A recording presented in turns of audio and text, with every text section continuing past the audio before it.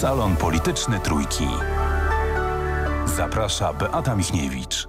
Dzień dobry, Krzysztof Czabański, przewodniczący Rady Mediów Narodowych, poseł Prawa i Sprawiedliwości. Dzień dobry pani, dzień dobry państwu. Panie przewodniczący, panie pośle, w październiku obchodzimy Światowy Dzień Zwierząt. Omówiliśmy się mniej więcej przed miesiącem. 4 października, dokładnie. Czwartego, tak. Dobrze pamiętam, bo to moje urodziny. E, no i imieniny Franciszka i dlatego jest Światowy Dzień. Wszystkiego najlepszego. No i umówiliśmy się mniej więcej przed miesiącem na tę rozmowę właśnie dlatego w październiku. Y, właśnie przede wszystkim o zwierzętach, y, no bo pan jest znany z troski o los braci mniejszych. Mm, zna pan oczywiście, panie przewodniczący, eksperyment myślowy określany jako kod Schrödingera. Eksperyment myślowy? Tak, kod Schrödingera. To jest taki eksperyment, to jest zbyt długo, żeby o tym opowiadać, ale, ale w każdym razie... pani opowie, bo to mnie e, zafascynowało. To, to, to jest fascynujące, ale byśmy musieli opowiadać do końca, a ja nie jestem dobra z fizyki. To jest fizy eksperyment fizyka Schrödingera, tak. który polega na tym, że kod włożony do pudełka, oczywiście nikt nie męczył kota, ale jest taki moment, w którym on jest jednocześnie żywy i martwy. I mnie się, i mnie się skojarzyło właśnie z tym eksperymentem no, pewien aspekt stosunku do zwierząt Prawa i Sprawiedliwości. E, dlaczego?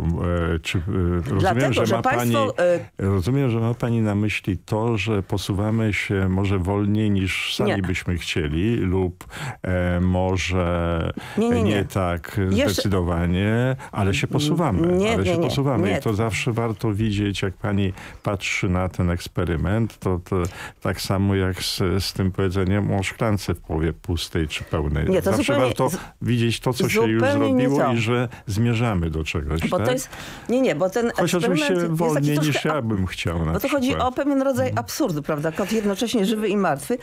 I mnie właśnie... Nie, tu nie ma e, żadnego absurdu. Nie, tylko pani ja mówi mogłabym... o pewnej materii życia, bo już Panie... idąc za tym przykładem. Ale chciałam wytłumaczyć. Dlaczego? A proszę bardzo, bo najpierw dlatego. pani powiedziała, że nie będzie pani tłumaczyć. Nie, nie, nie. Nie wytłumaczyć eksperyment, ale dlaczego, dlaczego takie skojarzenie? Mhm. No bo jak można jednocześnie kochać zwierzęta, a wiem, że w klubie Prawa i Sprawiedliwości jest bardzo wiele osób kochających zwierzęta, tak się deklarujących, a z drugiej strony szanować e, interesy e, hodowców hmm, zwierząt na futra.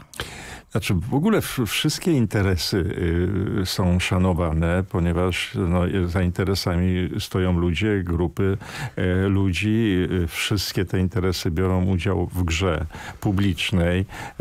Widzenie spraw publicznych tylko w taki sentymentalno-idealistyczny sposób do niczego nie prowadzi. No to nie za... sentymenty, bo ja... Wie pani co, ja, ja pani powiem z kolei o swoim eksperymencie. Bo, bo, bo futra nie są konieczne do życia, Panie prawda? redaktor, ale z, ja pani opowiem o swoim eksperymencie, no który bardzo. polegał na tym, że, że e, wszedłem do polityki bezpośredniej i pomyślałem, że to jest dobra okazja, żeby spróbować coś dobrego też zrobić w tym obszarze dla zwierząt. Tak?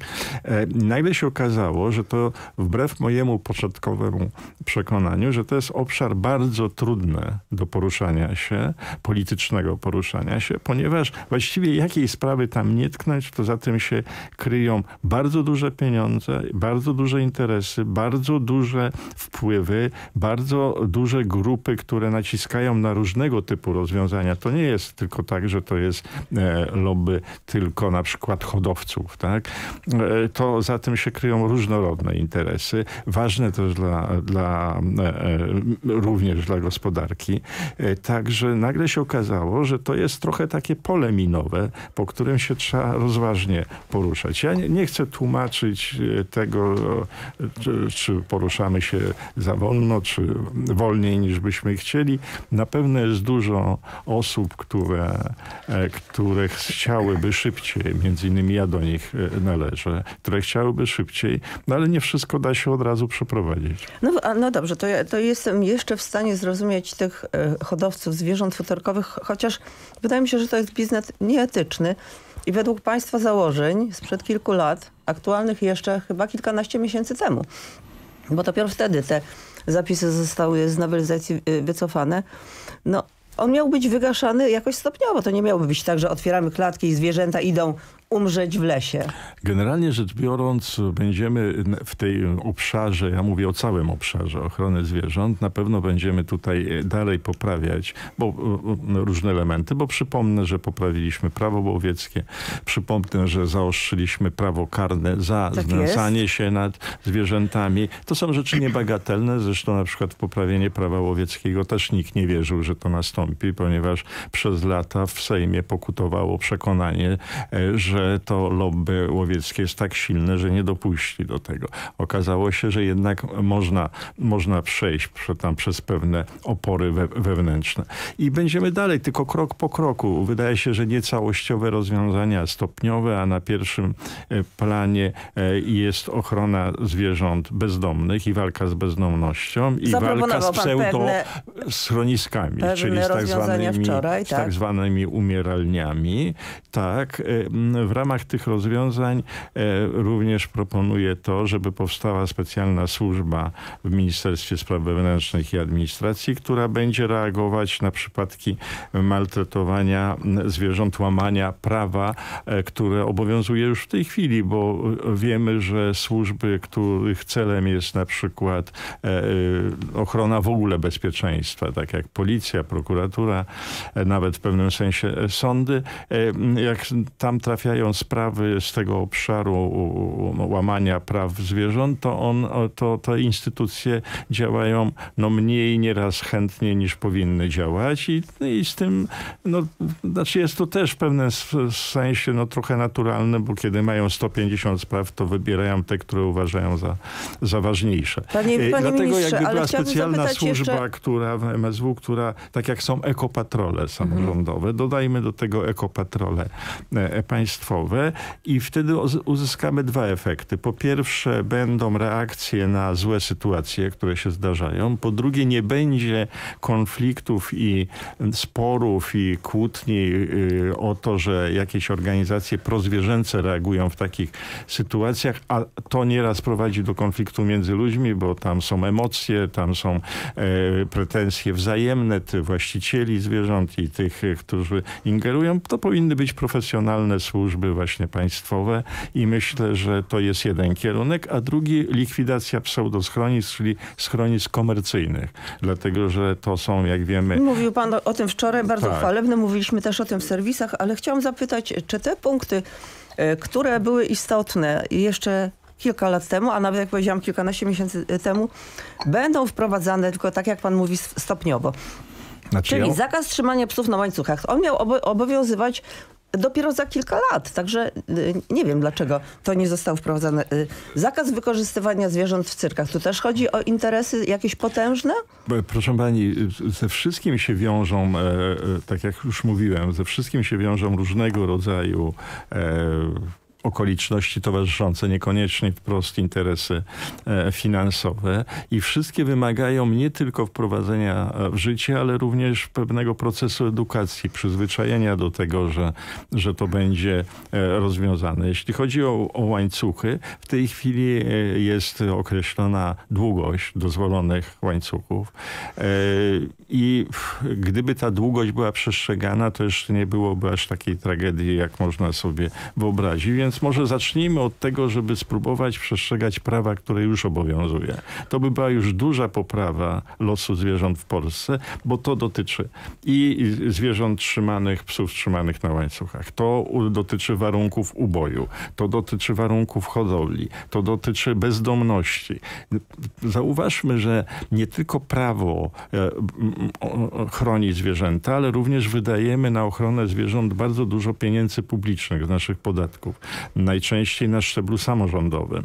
E, Dotowane są schroniska, które Dotowa... nie zawsze dobrze działają, nawet no, te publiczne. Ja nie mówię o schroniskach To różnie działają, ale ja znam przykłady bardzo dobrych schronisk, choćby w Toruniu, gdzie wczoraj urządzałem ten briefing, o którym pani wspomniała, gdzie przedstawiałem pewne pomysły dotyczące ochrony zwierząt, e, ale są niestety tak zwane umieralnie, co jest podwójnie niedopuszczalne. Raz, że tam zwierzęta są w straszliwych warunkach, e, a dwa, że ludzie, którzy prowadzą te komercyjne schroniska de facto przechwytują nasze pieniądze, które wydajemy na ochronę zwierząt, a oni za maltretowanie niejako tych zwierząt jeszcze zarabiają.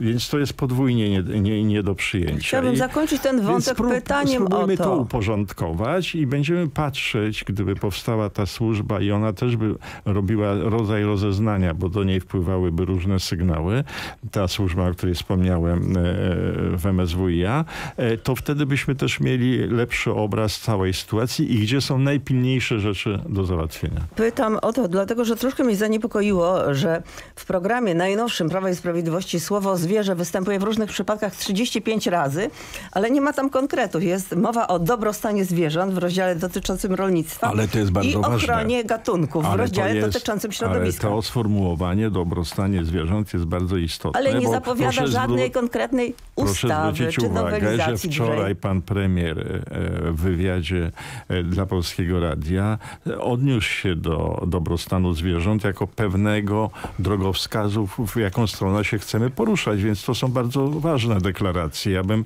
tego nie nazwał ogólnikami. No dobrze, gdyby zwierzęta miały głos, to by 13 października głosowały na Prawo i Sprawiedliwość? Ja myślę, że tak, ponieważ Prawo i Sprawiedliwość e, jako jedyna partia w ostatnich kilkunastu latach przeprowadziła bardzo parę korzystnych dla zwierząt zmian. W ustawodawstwie również, ale i w praktyce. Proszę zauważyć, że od paru lat nie mamy już do czynienia z tym, a to nie jest, nie z powietrza się wzięło, tylko z dyrektyw e, wewnętrznych, e, nie mamy do czynienia z tym, że sądy, czy prokuratury, czy policja odwracają się od spraw maltretowania zwierząt. Uważają, że się nic właściwie nie e, stało.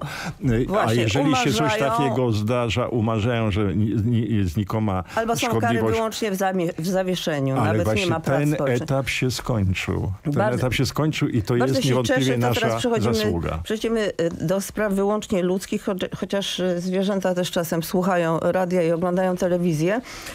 Kiedy rozmawialiśmy o ustawie o finansowaniu mediów, która miała być, przypomnijmy, pisana, nie wiem czy napisana, ale pisana w 2016 roku, a rozmawialiśmy o tym całkiem niedawno, to pan mówi, że najważniejsze, że są pieniądze. No bo tak, ta, taka jest Bardzo prawda. jest ważne, ale jak słyszę jednego z przywódców y, opozycji, który mówi, nie będzie miliarda na telewizję Kurskiego, będzie miliard na ubezpieczenia y, dla rolników, no to sobie tak myślę, że gdyby była ustawa, to może, y, to może sytuacja byłaby finansowa mediów publicznych pewniejsza, ponieważ tu nie chodzi o to, że komuś się nie podobają programy publicystyczne, informacje, ale Chodzi o teatr telewizji, o kulturę, o edukację, prawda? Ja pani odpowiem tak. Dopóki, do, dopóki Prawo i Sprawiedliwość będzie miała mandat od wyborców do sprawowania rządu, to media publiczne będą miały pieniądze, niezależnie od tego, czy będzie ustawa, czy jest i kiedy będzie systemowa ustawa. Ale będzie A jak opozycja, ustawa. nie daj Bóg, by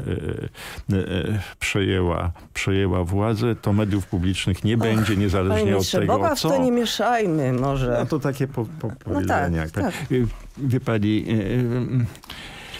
Dobrze, ale będzie opozycja ustawa... nie ukrywa tego, że nie chce, żeby media publiczne były silne, a najlepiej e, by zapewne chciała, żeby mediów publicznych nie było w ogóle. Ale będzie ta ustawa, panie ministrze? Będzie w nowej kadencji, będzie. Systemowe rozwiązanie jest niezbędne e, nie tylko dlatego, że dotychczasowy system finansowania, czyli abonament jest nieefektywny, ale również jest niemoralny, ponieważ oznacza, że około miliona gospodarstw domowych płaci na media e, publiczne, a inne gospodarstwa nie płacą. A w którym miejscu na drodze do ideału są według pana teraz media publiczne?